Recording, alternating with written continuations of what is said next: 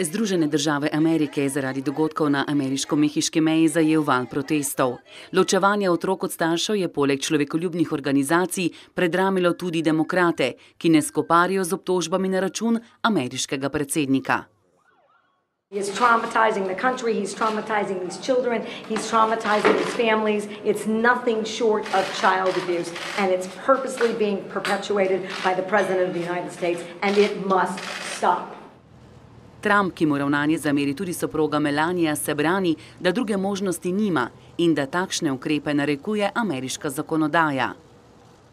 Under current law, we have only two policy options to respond to this massive crisis. We can either release all illegal immigrant families and minors who show up at the border from Central America, or we can arrest the adults for the federal crime.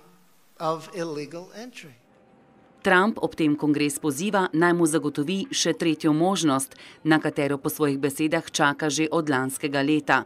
Kot edino primerno možnost vidi ameriški predsednik rešitev, s katero bi lahko celotne družine migrantov vrnili v njihove domovine.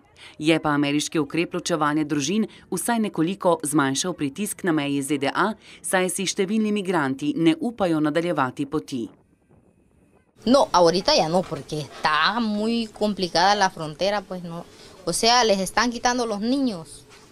Y entonces yo llevo dos, dos niñas, entonces no me puedo arriesgar pues a que me las quiten. Prefiero trabajar aquí en vez de que irse más allá que arriesgarse a que los quiten a uno. Oglasili so se tudi strokovnjaki, ki opozarjajo na posledice, ki prinaša traumatično razbijanje družin. Separating parents and children is absolutely devastating. It's very harmful, both for the short term and in terms of its long term effects on even on the neurodevelopment of children and can result in impairment of their social, emotional, and cognitive functioning. Neka raziskava med begunci je pokazala, da lahko takšno ločevanje družin privede do hudih duševnih travm in depresije.